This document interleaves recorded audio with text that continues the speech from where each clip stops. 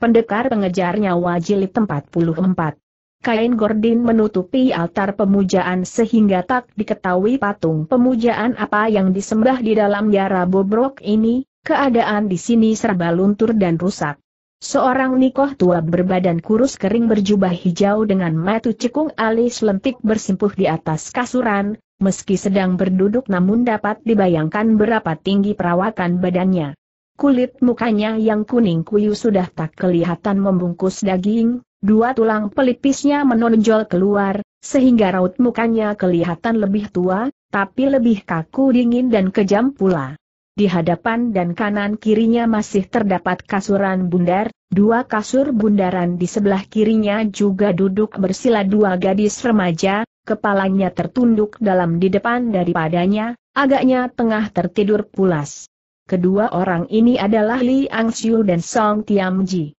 Kasuran di sebelah kanan masing-masing duduk seorang laki-laki dan seorang perempuan tapi terang bukan Li Giok Hem suami istri, yang laki bermuka pucat seperti mengenakan kedok muka tapi pakaian hijau di depan dada dan sekujur badannya berlepotan darah, seakan malah terluka berat juga. Dia kertak gigi, metu, terpejam rapat seakan-akan sedang menahan kesakitan yang amat menyiksa badannya, malah duduk pun hampir tak kuat lagi. Yang perempuan mengenakan cadar, yang kelihatan hanya sepasang matanya, namun sepasang matanya mengandung rasa ketakutan, gusar dan penasaran. Di dalam ruangan sembahyang ini sebetulnya terdengar suara bentrokan senjata keras, Suaranya kedengaran bergema dari bawah tanah tapi saat itu tiba-tiba semuanya mendadak sirap dan sunyi. Kasur bundar di bawah tempat duduk Nikoh jubah hijau pelan-pelan tergeser ke samping, dari bawah kasur tampak sebuah lubang yang membesar, tak lama kemudian beruntun beberapa bayangan orang menerobos keluar selincah kelinci.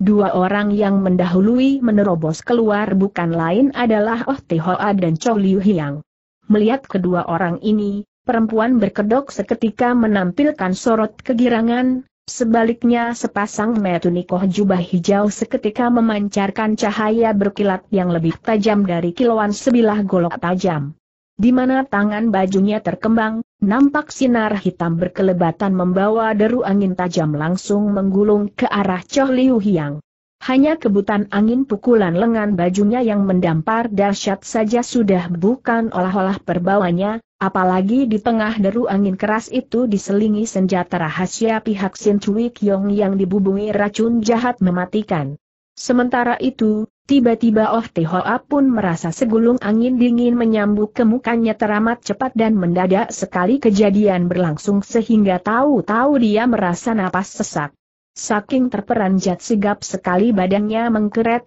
berbareng kaki menutup bumi badannya bersalto di tengah udara, belang badannya menumbuk daun jendela dan terlempar keluar, terasa alas sepatunya rada tergetar, dengan kecepatan gerak refleksnya yang tangkas itu, ternyata masih tak luput dari bokongan orang, untunglah sejak kembali dari padang pasir sampai sekarang belum lagi mengganti sepatunya yang dipakainya tetap sepatu tinggi dan tebal pemberian Ki Pinjan yang terbuat dari kulit kerbau. Meski kekuatan sambitan senjata itu amat pesat dan besar, namun tak bisa menembus kulit kerbau di alas kakinya. Kalau tidak umpama dia tidak mampus, kakinya itu terang bakal cacat seumur hidup. Belum lagi badannya menyentuh bumi, keringat dingin sudah gemerobios. Di luar jendela tumbuh pohon raksasa yang rindang dengan daun-daunnya yang rapat, baru saja dia berniat melejit naik ke atas pohon, siapa tahu pada saat itu pula tiba-tiba seret sebuah suara samberan lirih.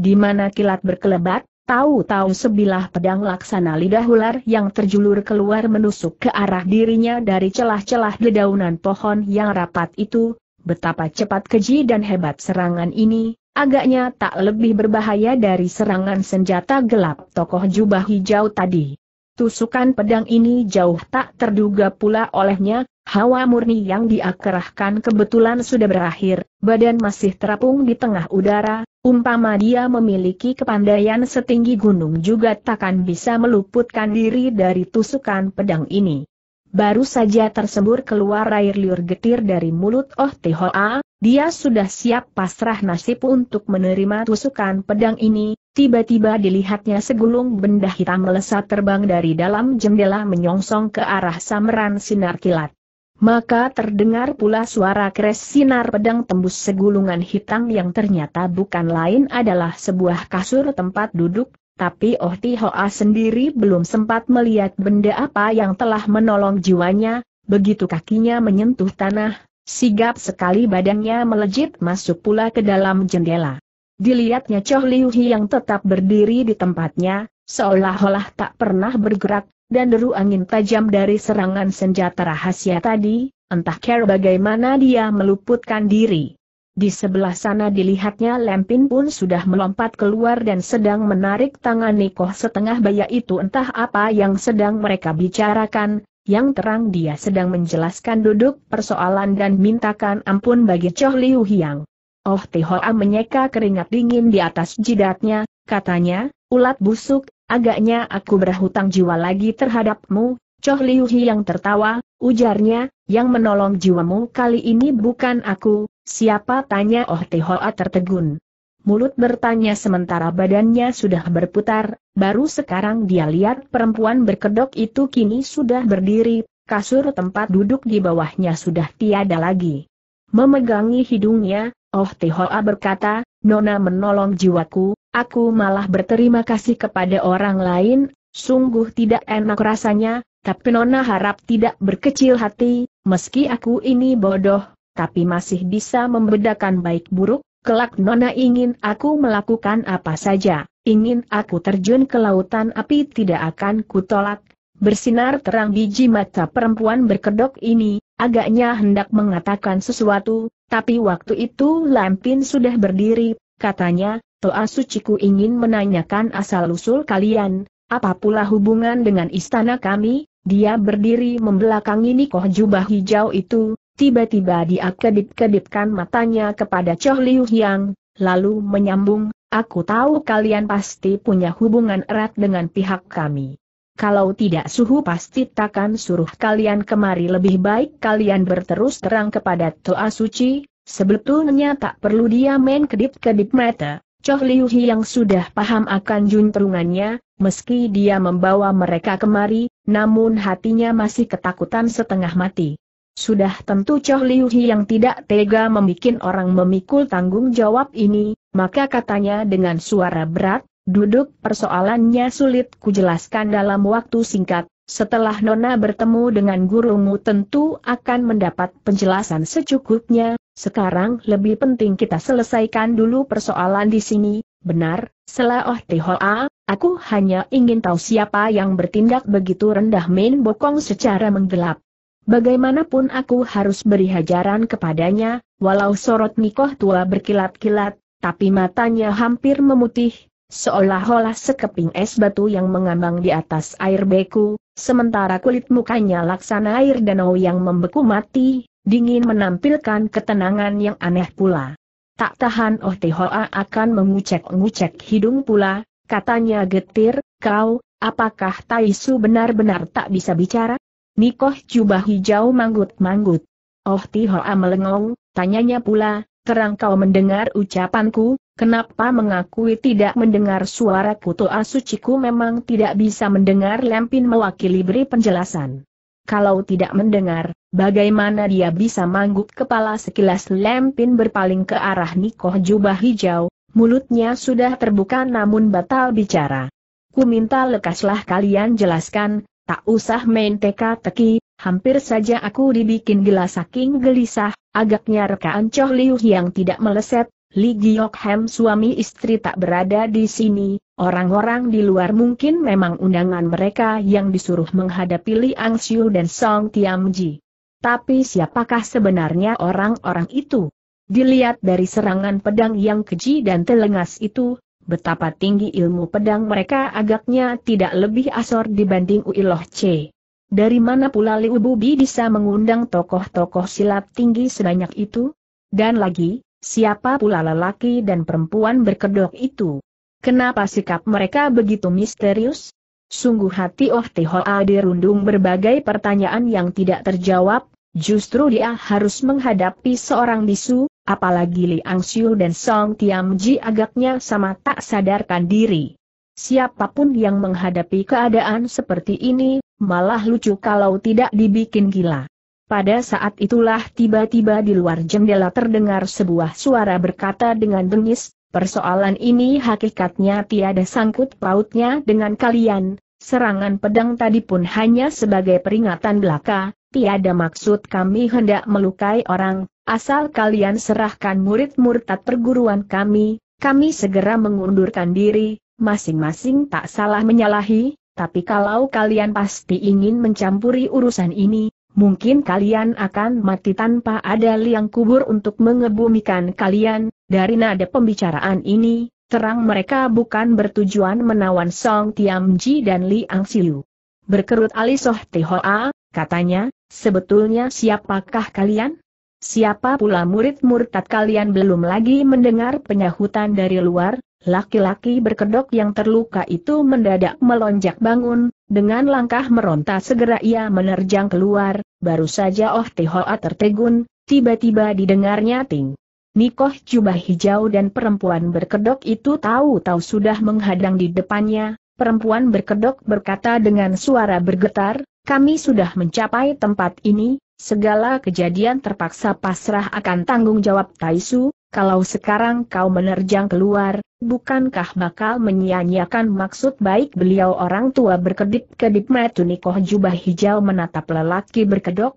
pelan-pelan kepalanya manggut-manggut, seiring dengan setiap patah kata perempuan berkedok, maka terdengar suara lirih yang cukup nyaring berbunyi dari bawah kaki nikoh jubah hijau. Tiba-tiba Oh Tihoa melihat kaki orang, ternyata terikat oleh sesuatu rantai panjang yang lembut, sementara ujung rantai yang lain menjuntai masuk ke bawah altar pemujaan yang tertutup kain gordin itu. Setiap patah kata perempuan berkedok diiringi gerakan pelan dari rantai lembut ini yang bergetar di atas batu hijau, maka terdengarlah suara ting-ting yang lirih dan nyaring. Baru sekarang Oh Tihoa mengerti kenapa orang bisu bisa mendengarkan orang bicara. Sebetulnya tak tertahan dia hendak menerjang ke sana untuk melihat siapa sebetulnya orang yang sembunyi di belakang kain gordin itu. Kenapa main sembunyi-sembunyi? Tapi belum niatnya terlaksana, lekas Choh Liu Hi yang sudah mencegahnya dengan lirikan ujung mata.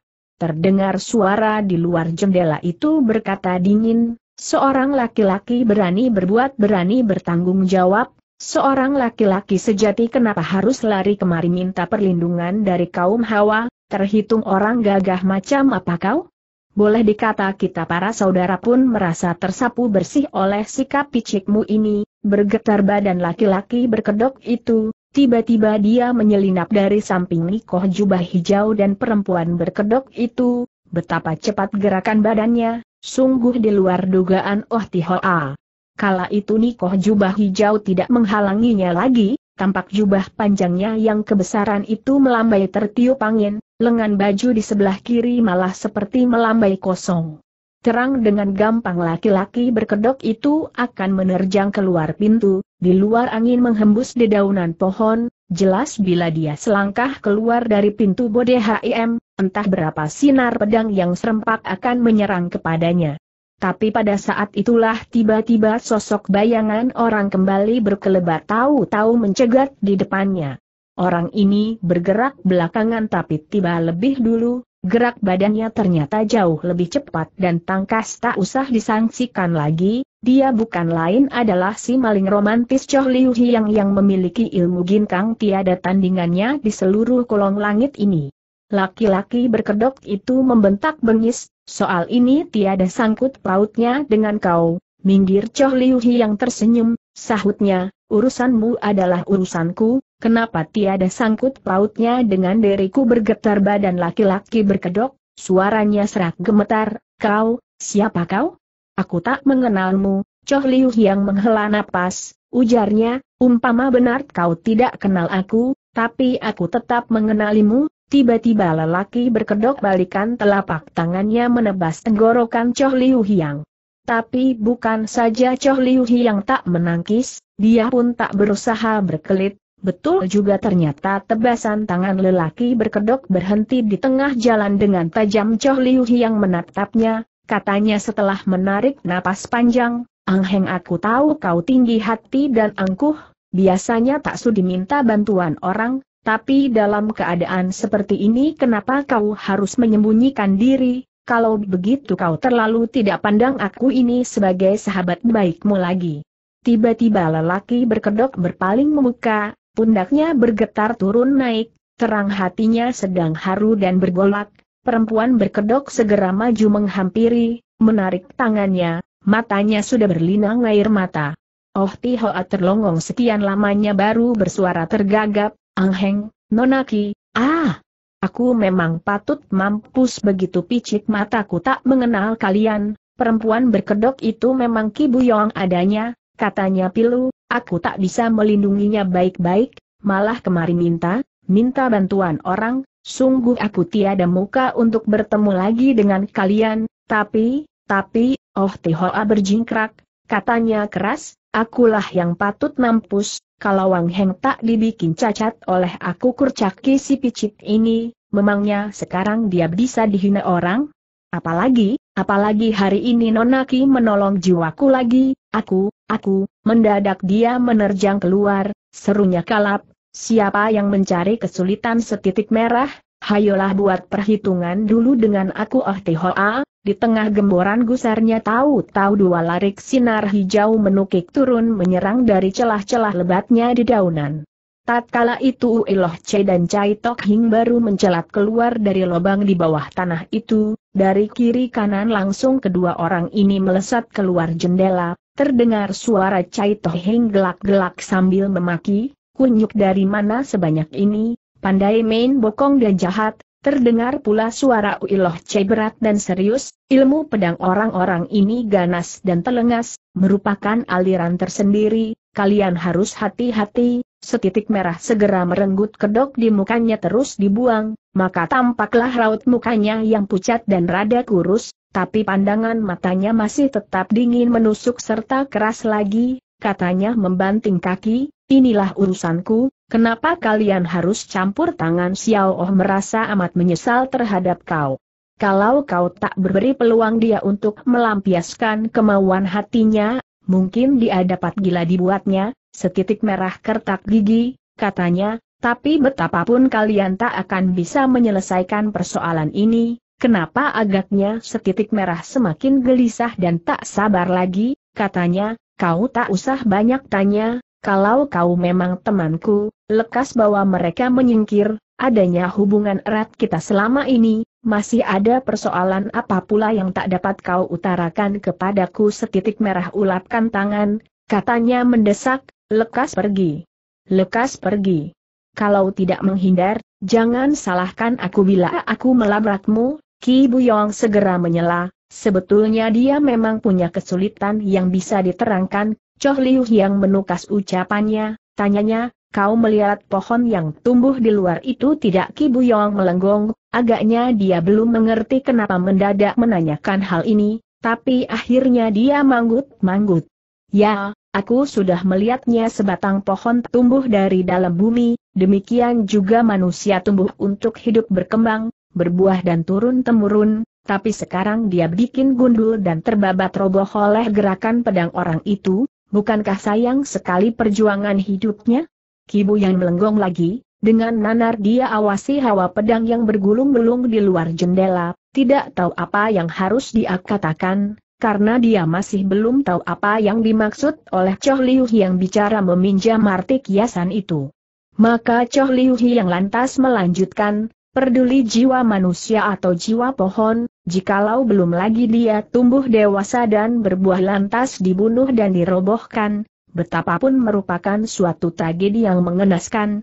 tapi dapatkah kau bilang bahwa itu kesalahan dari pedang-pedang itu ini, aku sendiri pun tidak tahu, Ki Buyong tergagap. Dengan tatapan tajam Choh Liu yang mengawasinya, katanya lagi dengan suara lebih lantang, pedang itu sendiri tidak salah, yang salah adalah tangan yang memegangi golok itu. Kau, kau sudah tahu urusannya tanya Kibu yang gelagapan.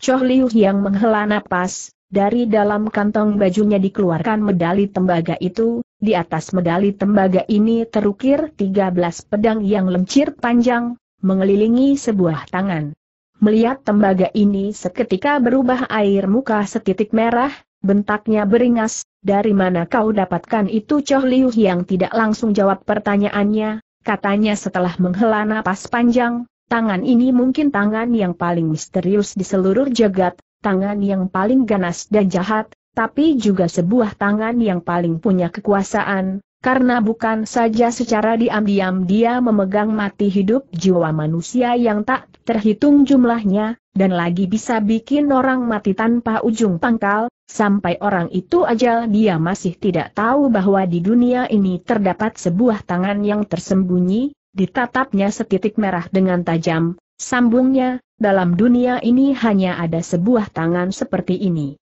Paling sedikit satu dua orang akan hidup ketakutan, hidup di dalam dunia nan gelap, jikalau tangan ini ditumpas dan dilenyapkan, semua orang akan hidup bebas, aman dan tentram, benar tidak dengan kencang setitik merah kertak gigi, ujung bibirnya kelihatan mengejang, katanya sesenggukan, kau ingin menumpas dia sekarang ganti sikap Choh Liu Hiang yang bengis, kalau kau tidak ingin menumpasnya, maka dia yang akan menumpas kau, napas setitik merah tersengal-sengal, mendadak seperti kesurupan dan menjadi gila dia bergelak tawa, aku tahu dia pasti seorang yang amat menakutkan, tapi betapapun orang yang menakutkan aku sudah sering melihatnya, tiba-tiba setitik merah hentikan tawanya, katanya. Aku tahu terhadap siapa pun kau tidak merasa gentar, tidak pernah takut, tapi dia, Sepasang biji matanya tiba-tiba menjadi legam pandangannya seperti semakin dalam, kelihatannya seperti jurang yang tidak kelihatan dasarnya,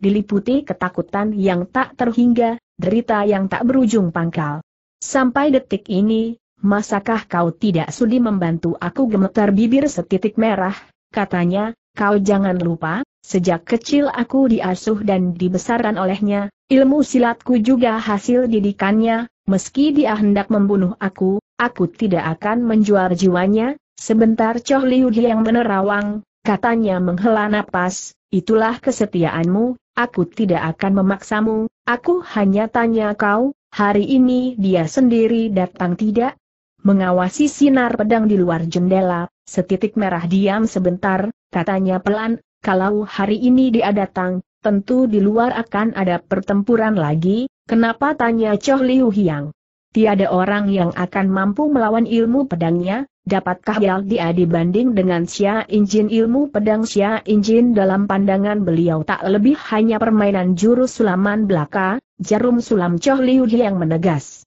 Jarum sulam hanya peranti menyulam kembang, jikalau untuk menjahit pakaian dia akan putus, Bagaimana maksud ucapanmu ini ilmu pedang Xia Injin hanya elok dipandang ilmu pedangnya sebaliknya amat fatal dalam praktek teringat betapa ganas dan aneh ilmu pedang setitik merah. Tak urung Choh Liu yang tertawa getir, katanya, benar ilmu pedang yang elok dipandang belum tentu membunuh orang, ilmu pedang peranti membunuh belum tentu enak dipandang, ya, memangnya begitu kenyataannya, mendengar tutur katamu ini, aku jadi kepingin bertemu sama dia. Lebih baik kalau kau tak bertemu dengan dia, hari ini berapa orang mereka yang datang? Enam orang, Ki Buyong yang menjawab sambil gigit bibir, semula delapan orang, tapi satu di antaranya kami gasak di luar kota Kilam. Seorang lagi entah mengapa mendadak mengundurkan diri, jadi sejak di kota kilam mereka sudah menguntip jejak kalian sekilas kibu yang melirik kepada setitik merah katanya,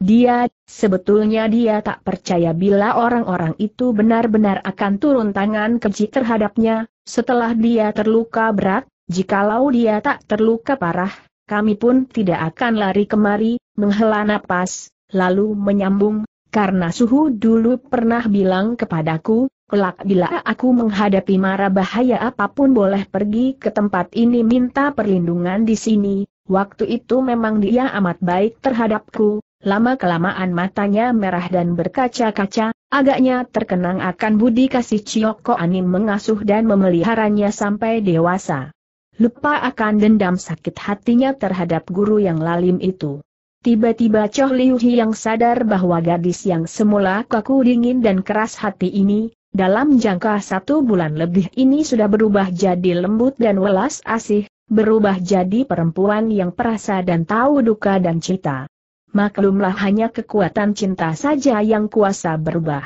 Sifatnya sedemikian cepat dan banyak, diam-diam dia pun bersyukur dan ikut bergirang bagi setitik merah. Karena dia pun tahu, cepat atau lambat setitik merah pasti akan dibikin luluh dan berubah pula oleh kekuatan cinta itu pula, pemuda sebatang kere yang dingin kaku ini laksana sebatang pohon yang tumbuh menyendiri di puncak ngarai di pinggir jurang, sesungguhnya amat memerlukan buayan kasih mesra untuk melebur hatinya yang beku. Sekilas itu, tiba-tiba dilihatnya pula Nikoh jubah hijau juga berubah roman mukanya setelah mendengar ucapan Kibuyong. Rona matanya yang kebuah mendadak seperti menyala oleh bara yang berkobar. Mengawasi medali tembaga di tangannya, berkata Kibuyong, satu di antara delapan orang itu mendadak menghilang, apakah kau, aku sih tak membunuhnya, tapi dia memang benar hendak membunuh aku malah, ujar Choh Liu yang tertawa. Sepanjang jalan ini kami bentrok tujuh kali dengan mereka, demikian tutur Kibuyong lebih lanjut. Menurut apa yang ku ketahui, orang yang menghilang itu merupakan orang yang paling rendah ilmu silatnya, care bagaimana mereka mengutusnya untuk menghadapi kau karena waktu itu mereka belum tahu lawan yang harus dibunuh adalah Choh Liu Hyang, sudah tentu kekuatan utama harus tetap bertahan untuk menghadapi kalian, maka tugas membunuh itu diserahkan kepada yang berkepandaian paling rendah, tiba-tiba Choh Liu Hyang menambahkan, kalau demikian enam orang yang tersisa ini, apakah kepandaiannya lebih tinggi dari dia tujuh kali kami bentrok dengan mereka walau setiap kali dapat lolos dari mara bahaya tapi juga secara untung-untungan belaka, pernah dua kali aku sendiri sudah merasa takkan selamat lagi nyawa kami, Choh Liu. Hiang melirik ke arah jendela, katanya mengerut kening, kalau demikian Xiao Oh bertiga satu melawan dua, mungkin, Sekonyong-konyong terdengar suara rantai memukul lantai sehingga mengeluarkan suara samar tak putus-putus. Muka Nikoh jubah hijau merah padam, dengan melotot gusar menatap ke arah kain gordin di tempat pemujaan, rantai yang mengikat kakinya juga bergerak-gerak pergi datang. Lampin tampak gelisah dan kebingungan, agaknya dia kehabisan akal dan tak tahu apa yang harus dia lakukan. Tatkala itu sinar pedang di luar jendela memang masih berkembang dengan lincah dan deras, tapi deru angin sambaran golok yang cepat merayap selulup timbul ke kanan kiri serta sinar tongkat selincah naga menari itu berkilau, kedua belah pihak kelihatannya masih berkutat sama bertahan dengan kuat alias tanding. Choh Liu yang melambaikan tangan ke arah Lempin tanyanya dengan lirih, kenapa Toa Sucimu marah-marah Lempin melirik kepada Kibuyong.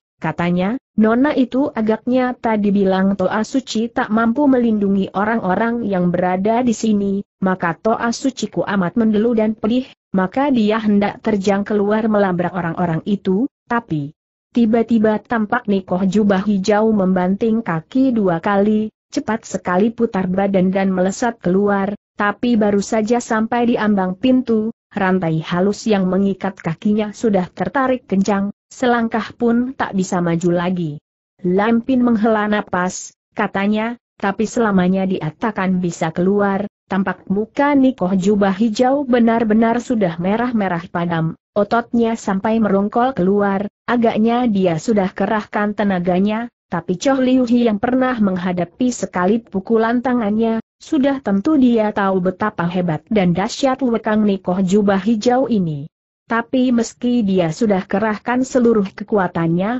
rantai halus itu tetap tak kuasa dia putuskan, mengawasi rantai yang tertarik kencang itu Lempin menghela napas, ujarnya, kabarnya rantai ini terbuat dari besi murni yang dingin di dasar lautan, meski golok pusaka yang dapat mengiris besi seperti memotong tahu pun jangan harap bisa membacoknya putus, apalagi kekuatan manusia biasa, tampak semakin tarik rantai itu seperti mulur semakin kencang, altar pemujaan itu pun sudah mulai bergetar, lapat-lapat seperti terdengar suara helaan napas yang lirih dari balik kain gordin itu, agaknya di bawah altar pemujaan itu juga ada seseorang yang menarik kencang rantai itu. Berkilat sorot metu Choh Liu Hiang, tanyanya pula, ujung rantai yang lain terikat di mana Lampin tertunduk, sahutnya, kau sendiri sudah melihatnya, kenapa kau tanya aku apakah ujung rantai yang lain juga terikat di kaki orang,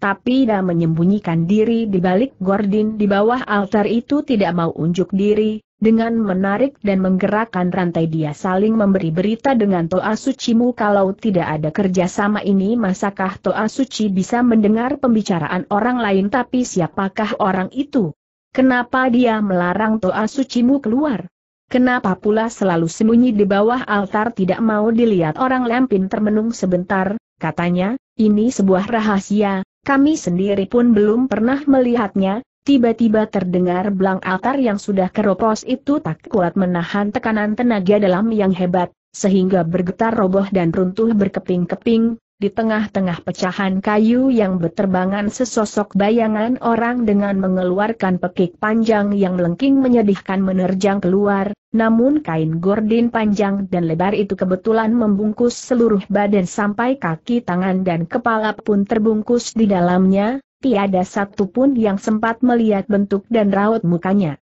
Choh Liu yang menghampiri dan menepuk pundak setitik merah, katanya, Ang Siu dan Tiam Ji ku serahkan kepadamu, bahwasanya dia tidak memberi kesempatan setitik merah menolak permintaannya, tahu-tahu badannya sudah berkelebat keluar. Tampak selarik sinar mencorong terang laksana seuntai rantai perak tahu-tahu melesat keluar dari rimbunnya daun-daun pohon, secepat kilat menusuk ke arah orang aneh yang menerjang keluar dari altar pemujaan. Dari kepala sampai kaki seluruh badan terselubung di dalam kain longgar besar itu, hakikatnya apa pun tak terlihat, siapa pun pasti mengira dia takkan mungkin bisa meluputkan diri dari tusukan ini. Tak nyana begitu sinar pedang menusuk tiba, badannya tiba-tiba berkelebat selicin belut tahu-tahu badannya menyelinap lewat dari depan laki-laki pembunuh berseragam hitam itu, maka rantai yang terikat kedua kaki mereka kebentur mencirat badan pembunuh gelap ini.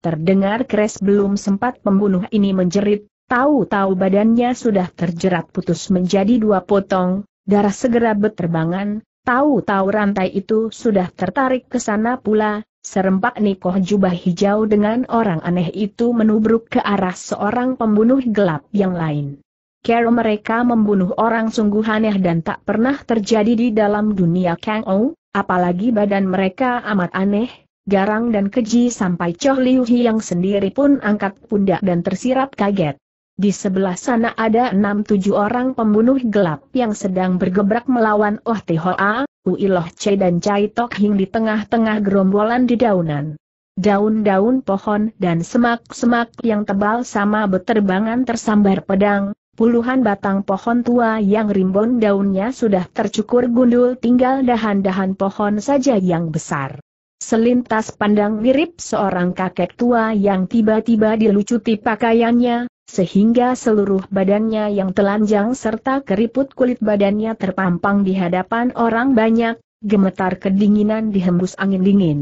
Pedang yang menjadi gaman para pembunuh gelap itu mirip dengan pedang yang dipakai setitik merah, panjang luncir dan tipis bobotnya jauh lebih enteng dari pedang panjang umumnya. Sudah tentu permainan pedang merekap pun ganas, culas dan keji seperti permainan setitik merah, juga sekali-kali tak pakai variasi atau kembangan yang indah, sekali serang jiwa orang selalu diincarnya, dan lagi pengalaman tempur orang-orang ini sudah teramat luas, agaknya mereka pun melihat Oh Tihoa, Uiloh Che dan Chai Tok Hing merupakan tokoh-tokoh silat yang tak berboleh dipandang ringan oleh mereka itu, mereka tak bergebrak secara berhadapan melawan Oh Tihoa bertiga, begitu jurus pertama pedang menusuk, lekas sekali badan mereka sudah berkelebat menyelinap ke belakang pohon, tahu-tahu tusukan pedang orang kedua sudah menyelonong datang dari arah lain. Rangsukan sinar pedang mereka sambung menyambung dan tergabung dengan rapi dan rapat,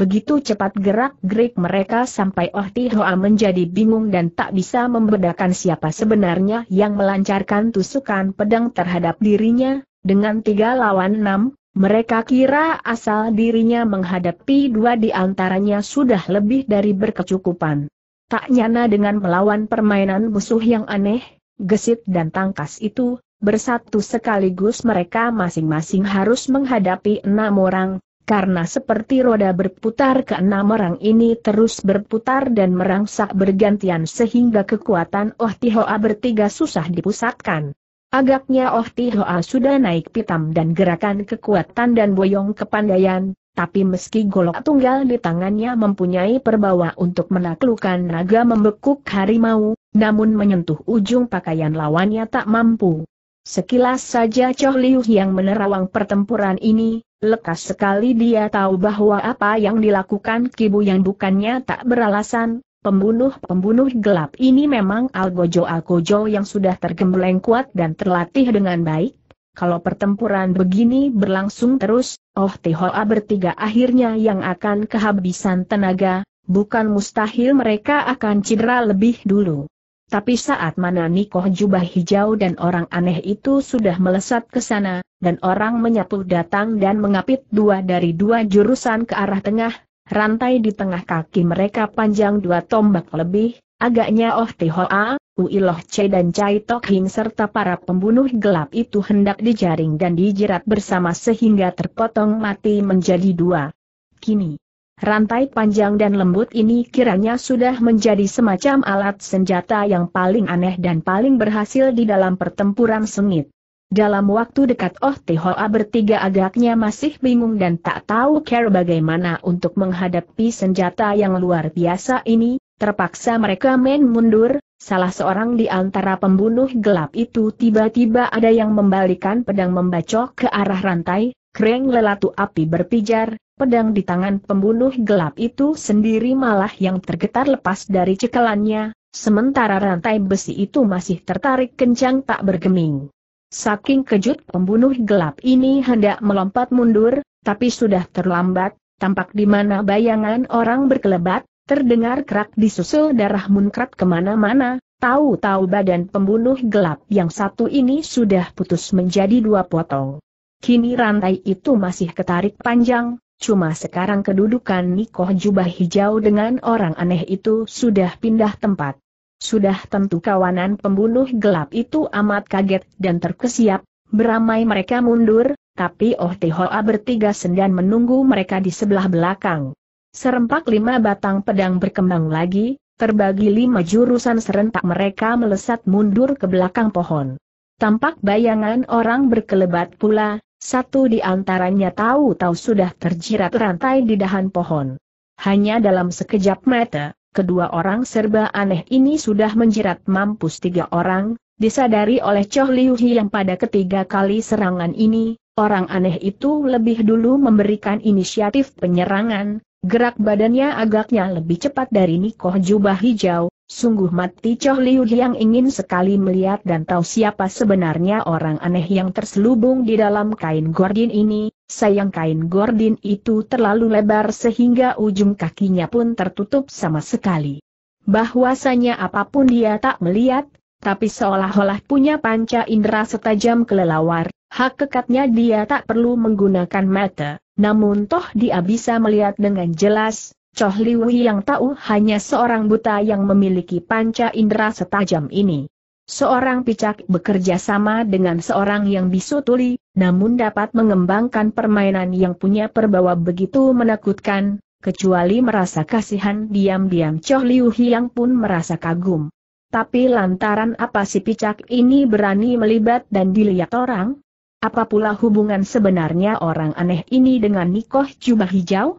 Lantaran apa pula induk air imki sampai membelenggu kedua orang ini di atas seuntai rantai yang sama? Kini pembunuh gelap itu tinggal lima orang, agaknya kelima orang ini sudah kapok, mereka hanya berputar kian kemari di bawah dahan pohon. Tapi mereka pun tak berani mengundurkan diri. Agaknya tangan itu masih memegangi cemeti, jikalau sebelum menunaikan tugas mereka berani mengundurkan diri, siksaan kejam bakal menimpa diri mereka. Entah berapa banyak jiwa manusia yang terbunuh oleh pedang mereka, tapi nasib jiwa mereka sendiri, mungkin jauh lebih mengerikan daripada para korban yang mereka bunuh.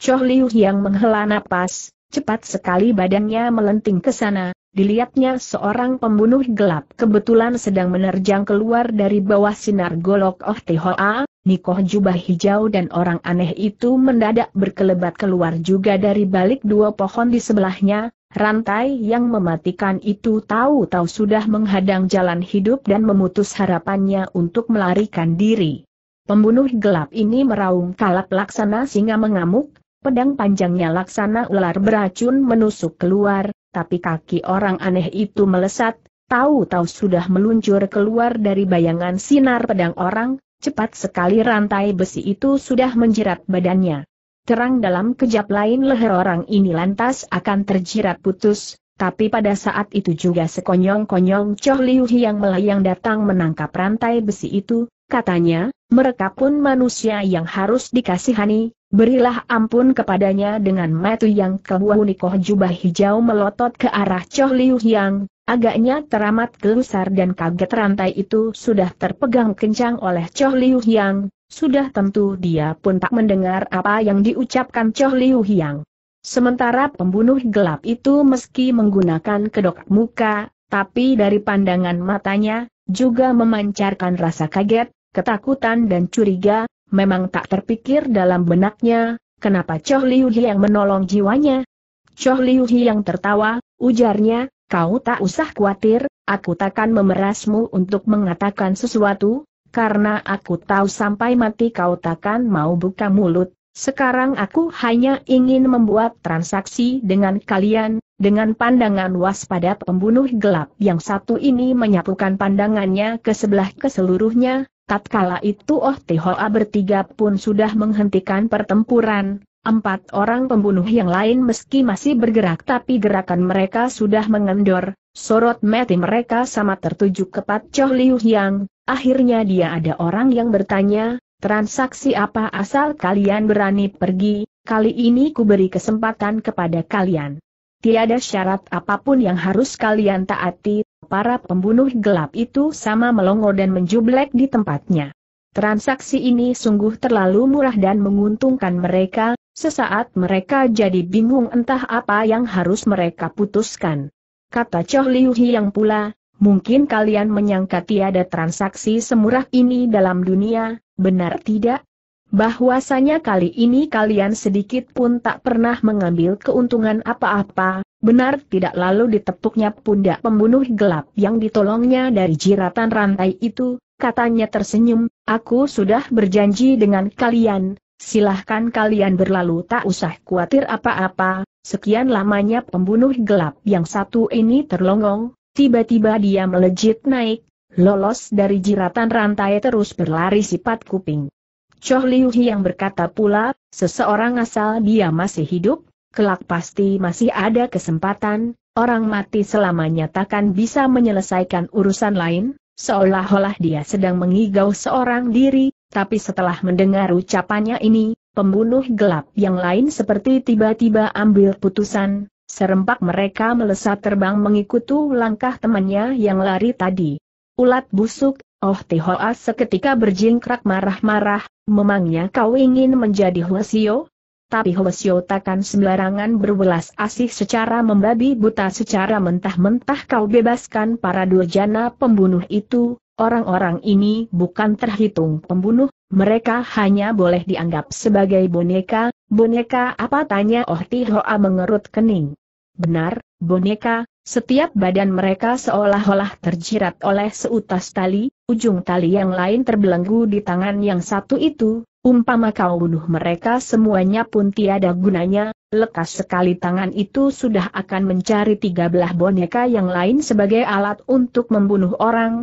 malah kali ini kau hanya membunuh 13 bonekanya, bukan mustahil lain kali dia malah mencari 26 yang lain, oh teho aku cek-kucek hidung, katanya, tapi, umpama begitu saja kau lepaskan mereka, yang terang bukan laku seorang dagang yang bonafide, agaknya kau belum paham akan teori dagang, orang-orang yang diutamakan adalah mengulur benang panjang untuk mengail ikan besar, bersinar mata oh tehoa, katanya, oh. Aku paham sekarang, kau lepaskan mereka, maksudmu supaya mereka membawa kau menemukan si tangan itu, tapi di mana benangmu? Hidungmu kan lebih tajam dari congorku, memangnya kau tak bisa mengendusnya Oh Tihoa pejamkan mata, lalu menarik napas dalam-dalam, terasa di dalam hembusan angin lalu sayup-sayup terendus semacam bebauan wangi yang khas seperti harumnya bau parfum. Itulah bebauan khas milik si maling romantis setiap habis melakukan operasinya.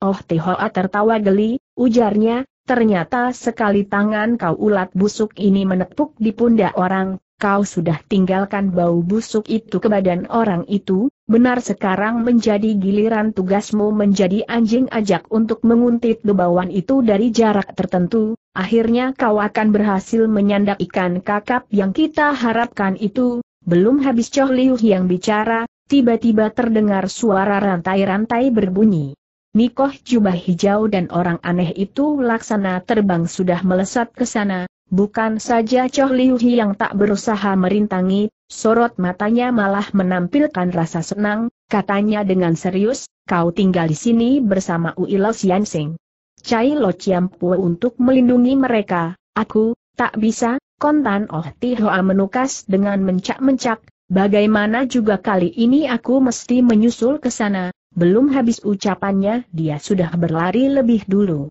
Terpaksa Choh Liu yang bersoja kepada Ui Loh Che dan Chai Tok Hing, lalu menuding pintu Bode HIM pula katanya, urusan di sini ku serahkan kepada Ciampu berdua untuk bantu membereskannya, masih ada yang ji, bila dia datang, legakan saja hatimu tukas Chai Tok Hing kalau Nona Soh datang, akan ku beritahu kepadanya, setelah Choh Liu yang berlalu, dia menghela napas, katanya kepada Ui Loh Che dengan tertawa getir, kalau demikian kami berdua tua bangka ini jadi ringan tugasnya, Ui Loh Che menghela napas juga, ujarnya, tak salah, seorang laki-laki kalau di punggungnya memikul beban sudah merupakan tugas berat, apalagi beban yang dipikulnya ada tiga banyaknya, Cai Tok Hing malah tertawa geli, katanya. Dalam pandangan tua bangka seperti aku, memangnya itu memang tugas berat, tapi di dalam pandangan anak-anak muda zaman sekarang mungkin kemauan pun kau tak akan sempat mengenyamnya.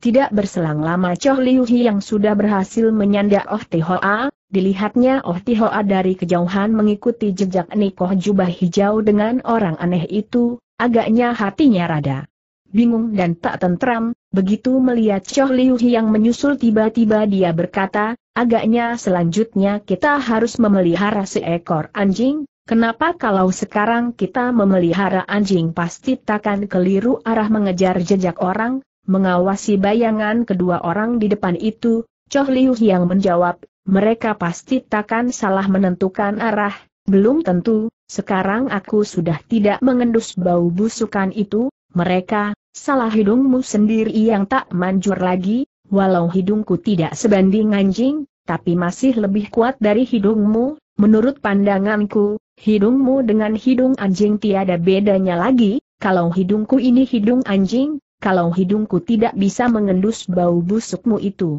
Memangnya mereka bisa mengendusnya malah mata dan kupingmu apa teramat tajam HMM Oh Tihoa mendengus saja. Tahukah kau kenapa bisa begitu? Mungkin karena kau termasuk hidung kelinci, kau tidak usah iri, soalnya hidungku jarang kugunakan, maka yang kuasa sengaja memberikan keistimewaan kepadaku, bersinar mata oh Tihoa, katanya, maksudmu, lantaran mata dan kuping mereka tak berguna lagi, maka daya penciuman hidungnya teramat tajam. Akhirnya kau menjadi pintar, sungguh tidak gampang bisa maju begini pesat, Justru karena otakku bebal, maka Tian pun memberkai suatu kelebihan yang lain, oh, kau memiliki kelebihan apa? Aku sih belum pernah melihatnya. Jikalau bisa melihatnya, celaka 12 bagi diriku, kau tak usah tak kabur, menurut pendapatku, kelebihan itu belum tentu, tiba-tiba suaranya terputus, Roman mukanya pun berubah hebat.